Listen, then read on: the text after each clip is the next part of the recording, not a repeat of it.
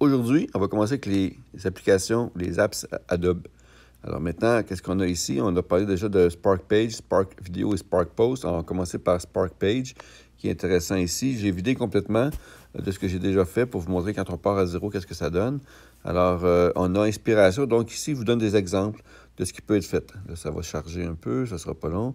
Alors, ça, alors, ça charge. Bon. Là, donc, donc, on importe une image, on met une histoire. Vous voyez, il y a, aussi une interaction un peu comme... Euh, qu'on appelle l'effet de défilement. OK? Alors, c'est des pages simples, on met des photos, on habille notre truc. Alors, ça peut être des road movies, ça peut être pour expliquer notre entreprise, ça peut être pour, euh, euh, selon ce que vous faites euh, dans votre environnement versus les réseaux sociaux. Alors, expliquer votre travail, expliquer le produit que vous vendez, expliquer, exemple, votre salon ou votre spa, body spa. Alors, donc, vous pouvez faire des choses vraiment intéressantes ici. Maintenant, si on part de ça, on va partir ici de, avec le plus.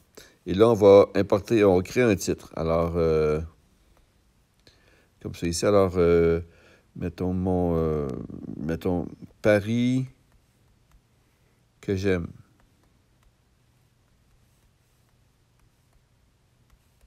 Comme ça ici. Et ici, sous-titre, ça va être,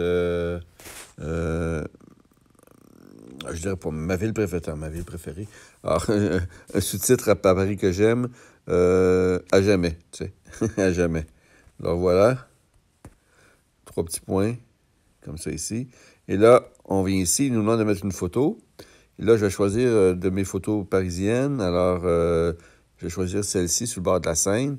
Alors, on voit ici que c'est très clair, c'est très lumineux. maintenant, je peux faire défiler. Pour continuer là, je peux rajouter une photo ou je peux rajouter un texte ou un bouton ou une vidéo. alors, je peux, je peux tout faire ça ici. Alors, euh, donc, je vais rajouter une photo.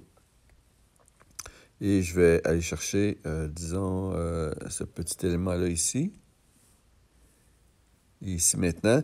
Là, la photo, est-ce que je veux remplir l'écran, la fenêtre, toute la largeur? On dire toute la largeur comme ça ici. Et là, je vais pouvoir ici faire plus, écrire le texte. Maintenant, je vais pouvoir taper du texte. Et comme ça, je vais faire en fait plusieurs pages, une derrière l'autre, très simplement. Euh, puis bon, c'est sûr qu'ici, si je prends mon. Je peux sélectionner mon image comme ça ici. Euh, je peux, je peux modifier ultérieurement encore cette image-là. Donc, je vais dire fenêtre au complet. Je peux mettre une légende ici maintenant. comme ça, je monte mon document. Et tout le long, euh, je vais pouvoir écrire l'histoire de mon entreprise, l'histoire de mon voyage, peu importe, c'est à vous de voir. Maintenant, ici, je peux mettre une catégorie, je peux le masquer, attribuer l'auteur, modifier les crédits, partager sur différents réseaux, mettre de l'avant, créer un lien public. Donc là, ça va être un lien partageable parce que dans le fond, c'est sur un serveur d'Adobe. OK? Alors, euh, c'est une façon de faire euh, de la publicité intéressante, esthétique et euh, pour vos entreprises, pour vos produits, pour ce que vous faites, pour ce que vous êtes. Alors, ça va tour d'essayer.